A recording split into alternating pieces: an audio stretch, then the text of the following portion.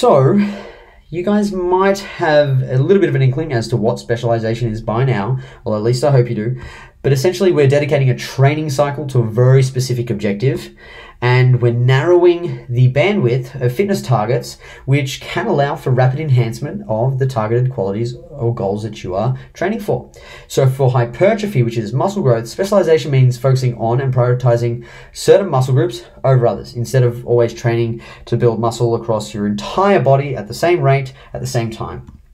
And this allows for accelerated growth of the muscle groups that are being prioritized and non-prioritized muscle groups can be put on the back burner, so to speak, where you get a little bit less growth, and sometimes you might even just maintain the amount of muscle that you have. And this can be really, really useful for uh, not only bodybuilders or people who have physique-oriented goals, but also for athletes uh, such as powerlifters who uh, might need to for example, build up their quads, but they can't build their lower back and glutes and hamstrings all at the same time. So they might need to specialize, build up the quads to improve their squat one rep max. So why would we specialize? Well, obviously we can emphasize and grow certain muscle groups that you wish to be bigger at a faster rate, and whether that's because of urgency or preference or the developmental needs that you have uh, as it relates to your long-term goals. So you might want to get bigger arms before beach season, or you might need to get bigger lats for your physique show. And for whatever reason, you might want to specialize. And it allows you also to de emphasize and not grow or grow at a slow rate the muscle groups you don't urgently wish to be bigger, as I mentioned earlier. So if you don't want quads to grow anymore and you're pretty happy with the size that they are, you don't need to necessarily train quads. And you can slow down growth of stronger muscle groups so that your lagging muscle groups can come, uh, catch up, and that's very useful also. And as we spoke about previously, when I mentioned some of the stress models, the body pulls on a finite pool of resources to go towards recovery from stresses. So if we bring down our training demands for one body part, that frees up some of those resources to go towards the priority muscle groups that we wish to grow at this present time. Uh, and that's very, very useful, and I think a very clever way to spend some of your adaptive currency. So, when should you specialize? Well, beginners can specialize. Anybody can specialize, really, but beginners will grow well with any half decent program, and they can grow all muscle groups relatively well at the same time with a balanced training protocol. They don't necessarily need to specialize, but if you have a beginner who doesn't want to build bigger quads, all they want is a booty and delts, then you can definitely specialize and target only those muscle groups. Intermediates are a little bit more tricky because they can still grow pretty well with a very general balanced program, but if there's developmental needs start to require them to focus more heavily on one muscle group, whether it's their delts are lagging and the reason that they're not placing on the podium in a bodybuilding show, or potentially the bench press is really weak and they need to build bigger triceps and pecs in order to improve their total if they're powerlifting. Um, those things are going to dictate whether or not they need to specialize, and you start to get a better handle of the developmental needs for intermediates in most cases.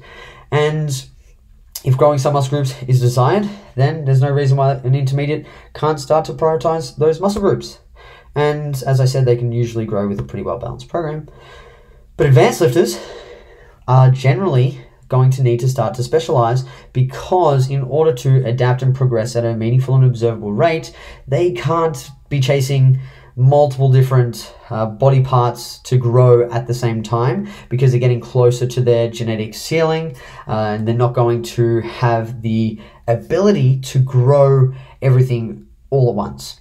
So it's a really good time as an advanced lifter to have a little bit more specificity in each of your training blocks and really focus on building muscle in one or two body parts at a time so that you can make sure that they are growing and then you're not just spinning your wheels. So, one of the things a lot of people always talk about when discussing specialization cycles is training volume. And for sure, training volume is one of the primary variables that changes during specialization cycles. And as I mentioned, volume is just the dose of the stress. And we're simply going to increase the dose in a specialization cycle because we have that adaptive currency uh, and resources freed up so we can recover from a little bit more and therefore dedicate more volume from reductions in volume for other body parts to our priority muscle groups. And again, we measure volume in number of hard sets, so RP over six, not just a set where you're fluffing about or warm up sets, they're hard working sets uh, per week per muscle group. And we also look at volume load, so that is uh, not just how many sets we're doing, but also the sets times the reps times the weight lifted. and more volume, provided we meet those sufficient uh, sufficient intensity thresholds, will lead to more growth to a point. Just remember back to that tension stimulus curve that I showed you. We have a minimum effective dose, a maximal adaptive dose, and a maladaptive dose. So we want to find that sweet spot within our programs when we're specializing. And as I said earlier, the research has shown that training volume has a nonlinear, inverted U shaped dose response relationship with hypertrophy. So, volume is a very important variable, and the research suggests that the optimal volume, as I mentioned earlier, is going to be six to eight sets per session and anywhere from 16 to 24 sets per week over a frequency of two to three sessions. But again, everybody's needs are going to be individualized which is why we do need to consider when we're adjusting training volumes, even though it's for a specialization cycle and we might have that uh, freed up adaptive resources. Not everybody's going to be able to just keep increasing volume, so we need to be very diligent and careful when we do increase volume. So you need to consider the individual's needs and context, and this includes things like their schedule, their volume tolerance, their recovery ability, how much time they have to train, very pragmatic stuff, the importance of achieving maximal hypertrophy for them. And if this specialization cycle is really important, then that's obviously good to know. Uh, and also injury history. And a really cool way to think about training volume is that we have maximal gains in the middle of the curve there. We have volume on the x-axis and hypertrophy and the growth response on the y-axis.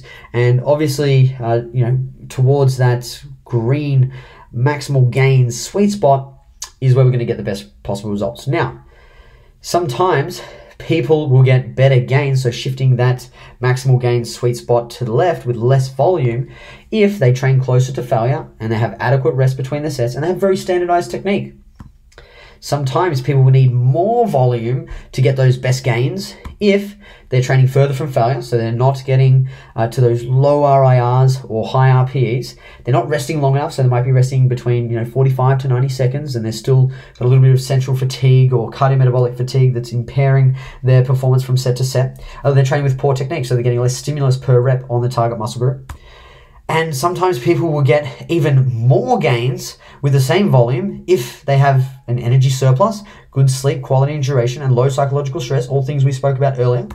And sometimes we get less gains with the same volumes if they have an energy deficit, poor sleep, quality and duration, and high psychological stress. And credit goes to Will Berkman for this uh, slide here because he came up with this and I really, really liked it. So I want to share that with you guys because I think it helps show you guys that although we want to adjust volume in a specialization cycle, we don't always need to adjust volume independently of everything else that's going to the program, we must consider the things that we just spoke about. So, how close someone's trained failure, how long they're resting, their standardized technique, uh, whether they've got energy surplus or deficit, their sleep quality and duration, as well as psychological stress. These are all things that you should be considering when you're designing a specialization phase.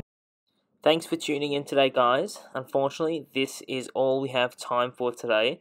This was a small snippet from a specialization cycle lecture from our uh, just released Hypertrophy Summit. If you want to know more about the summit, see the link in the description and stay tuned for next week's video.